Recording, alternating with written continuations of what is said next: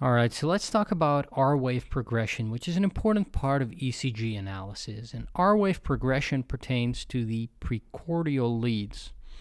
So here we see the 12 leads of an ECG. In blue, we see the limb leads, and in red, we see the precordial leads. And the latter, they depict the electrical activity of the heart in the transverse plane, whereas the limb leads depict the electrical activity of the heart in the frontal plane. And so these precordial leads, we have V1 through V6. V1 is placed right parasternally, and V6 is placed in the left axilla. Now, one thing you should know about uh, the R wave progression is that it, it's all about the QRS complexes, which are the electrical activity of ventricular depolarization. Now, the ventricles, we have a left ventricle, a right ventricle, and we have an interventricular septum. And the first part to depolarize is the interventricular septum. And the direction of depolarization is from left to right. And the reason for that is that the septal fascicle, the nervous tissue that depolarizes the left ventricle, comes from the left bundle branch this important knowledge to understand why a left bundle branch block looks the way it does. Anyway, first thing is septal depolarization towards V1 and away from V6.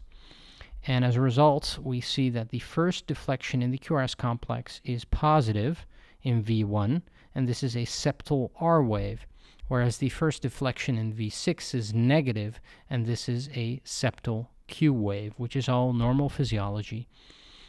Then, after the septum has depolarized, normally the left and right ventricle depolarize simultaneously.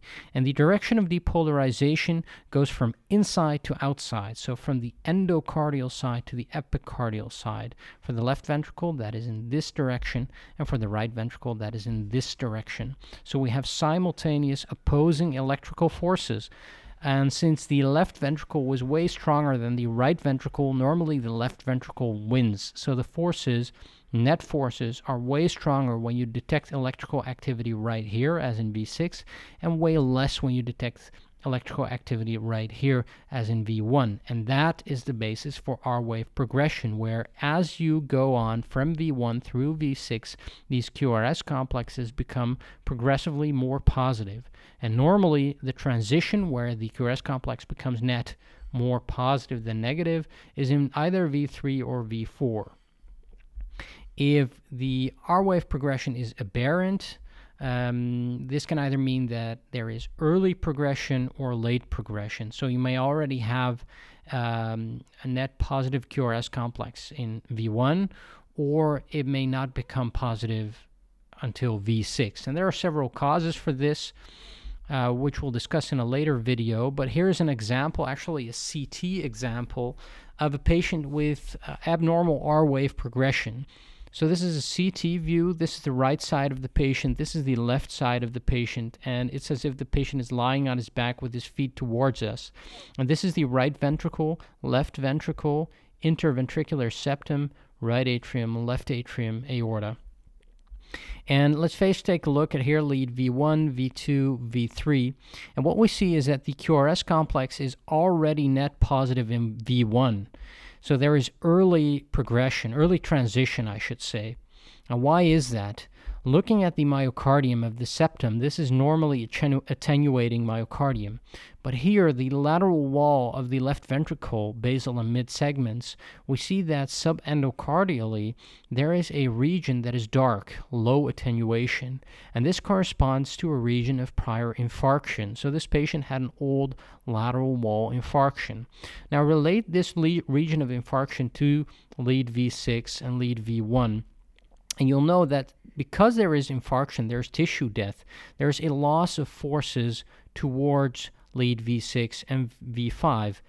And by the same rhetoric, there is a decrease in opposition of forces that go towards V1 and V2. So loss of forces in this way means less opposition of forces this way, and that's why the electrical activity detected in V1 and V2 in, during the QRS complex, during ventricular depolarization, is higher. So this is one of the causes of early transition. It's a lateral infarction in the left ventricle. Other causes, for instance, maybe right ventricular hypertrophy. Maybe a patient has chronic pulmonary uh, hypertension. Maybe a patient has a right ventricular strain due to pulmonary embolism.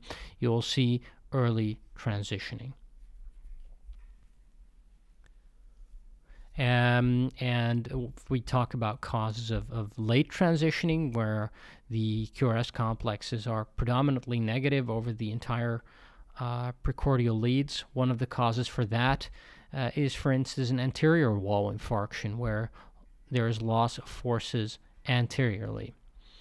Uh, one thing to note is that you should always consider lead misplacement as a cause for aberrant R wave progression, and you should consider normal anatomical variation because the heart is a mediastinal structure. In most patients, is, is rotated so that V3 and V4 is where the transition occurs, but in some patients it's slightly rotated counterclockwise. In some patients it's rotated more clockwise.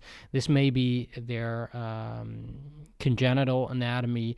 It may be that they've had uh, surgery, maybe they've had a right sided lobectomy um, causing traction on the heart towards the right. So these are things to take into consideration when interpreting an ECG and seeing aberrant R wave progression. Maybe this is part of this patient's anatomy, and that's why it's always good to take a look at previous ECGs and to take into consideration prior uh, medical history. So that's R wave progression in a nutshell. Hope you enjoyed.